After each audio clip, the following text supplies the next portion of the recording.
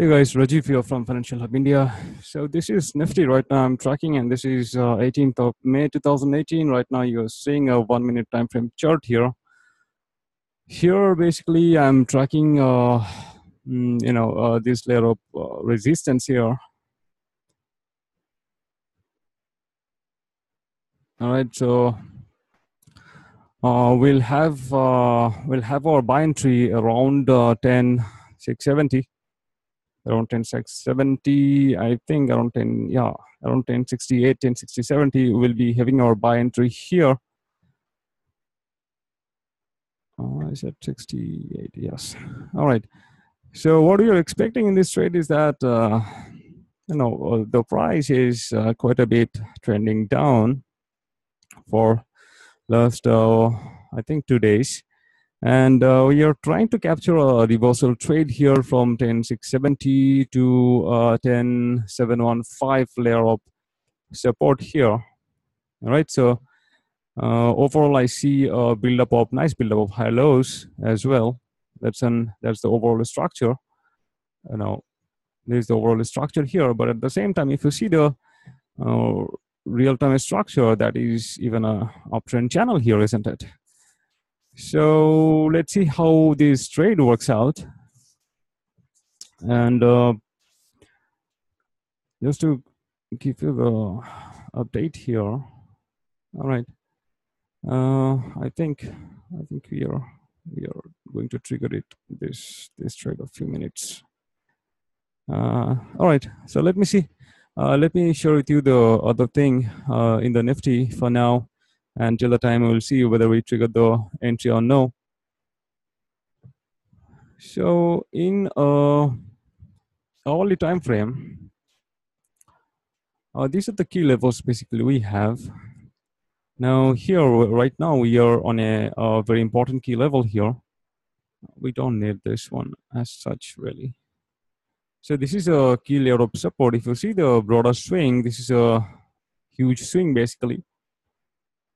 And then, you know, these are the insider swings we have. All right, then this was the world trend was uh, moving up. Uh, so right now we are uh, we we are right now on this key layer of support, and uh, right above that we have a layer around here and uh, about this layer, I talked about, uh, I, I, talked in the free um, public channel, I guess. So, I think, where is it? I'll show you that part later. Uh, if, you, if you just go to the uh, channel, uh, the free public channel, for, I think T, um, I'll give you the description. I'll, I'll give you the channel link in the description. Just let me go to the charts first here. So here we missed the trade yesterday. Uh, the, the trade was in uh, this channel we have been trading here. All right, this breakdown, uh, this breakdown trade we we missed, and uh, you know uh, it really worked out. It didn't. We didn't get an uh, entry opportunity even in the one minute time frames. So uh, it didn't work out as well as uh, you see the layer of resistances here. So we, we've, uh, we've been even tracking this breakout as well, which didn't trigger finally. It just broke down below this key layer of support. You see this support layer.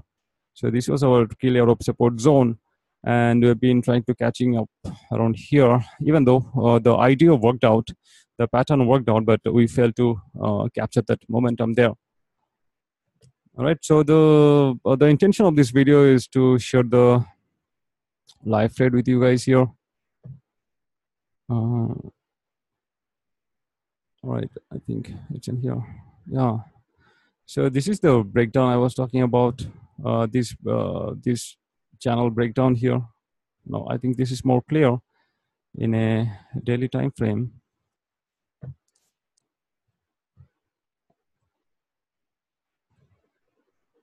Oh no not in daily time frame. It's in hourly time frame only. Okay. Yeah. So this was the layer this was the layer which created the support zone and this breakdown we have been tracking here. And before that before that what is it?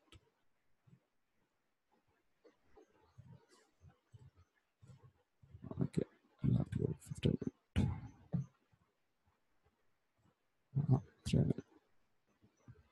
right. So if you see the trend here the trend was uh, pretty much you know in line and very much stable in its uh, in, in its uh, momentum. So even though uh, i should not say it's a pretty stable trend because this is quite volatile i see with the pullbacks and all uh, but uh, the the uh, three minute downtrend was really intact. And whenever after a downtrend you know price making lower lower high and then it goes a flat situation. So i think this thing i already discussed with you guys before as well and we had multiple trades based on this so after a trend whenever you see a, a consolidation get ready for a reversal move or a continuation move. And this is gonna be a big one.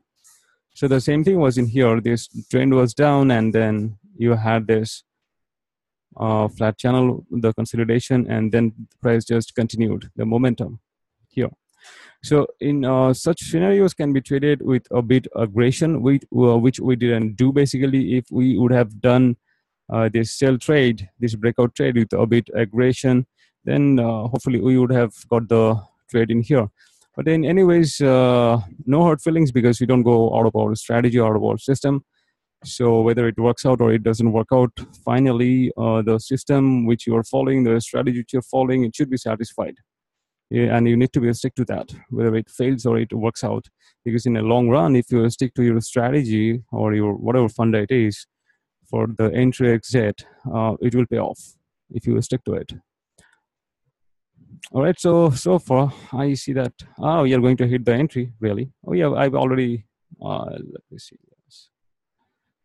the entry is already done. Yeah, we are already in this. Yeah, we are already in there. So uh, this is just a live trade for you guys.